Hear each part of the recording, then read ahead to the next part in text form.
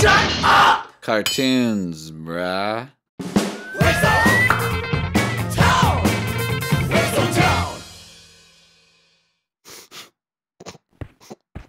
What's wrong with you, Chief? Dipster, I just got off the phone.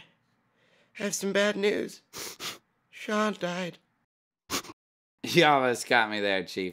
That's a good one. When did you get so dark? Dipster, I'm serious. He's dead. Mm-hmm. Mm-hmm.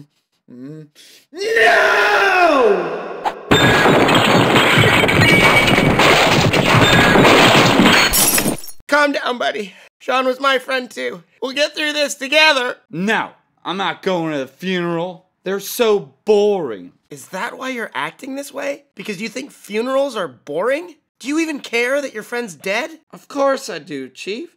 I wish more than anything that he was still alive. Well, I'm sorry, but he's gone. Because then I wouldn't have to go to his funeral. I give up. You're not even human. You're like a robot. A robot, huh? This is awful. Sit down, Chief. Tell your old pal Dipster what's got you down. It's Sean's body. It's been taken from the morgue. Oh, that.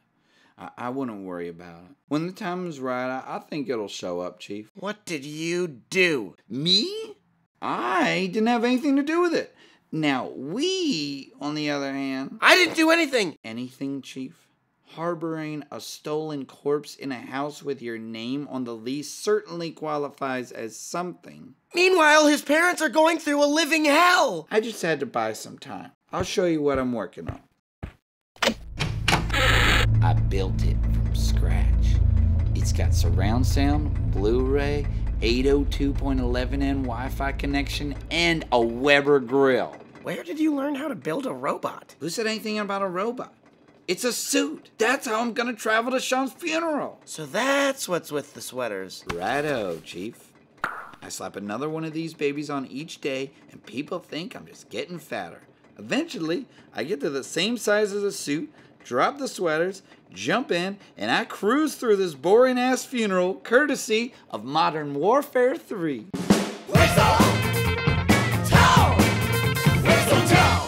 Ursula and I just wanted to thank you both again for finding our son's body. This has been such a terrible ordeal, and we feel we can finally move on now. Eh, don't mention it. Oh, he'll be fine. He just needs a little more time to grieve. In his own way.